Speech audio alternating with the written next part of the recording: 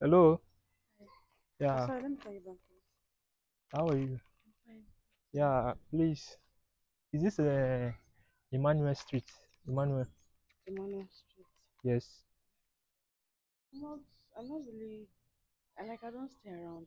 You don't stay around here. No, I don't, I don't stay Wow. around. I Wow. just came to visit someone. Wow. Actually, I'm I'm looking for one guy called uh, James.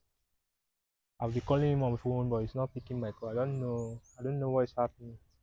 I'm a delivery man. I'm supposed to deliver this parcel to this man, but I've not seen him for. a- I've been calling him. I don't know. I Don't know. I don't know. Okay. Well, I told I don't stay around here now, so I don't know who you're even looking for.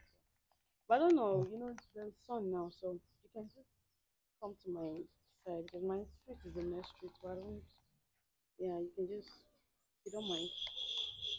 Wow. Yeah. So I can come to your place and stay. Yeah. I hope I'm safe. it's okay now, yes, you see. Alright.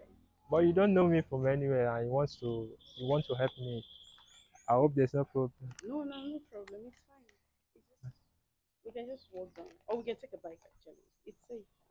Are you sure? only one at home. Wow, Yeah. my God. Okay now. So let's go. We can go.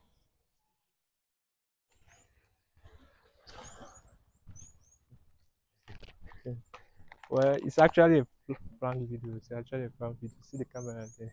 It's actually a prank video. Yeah.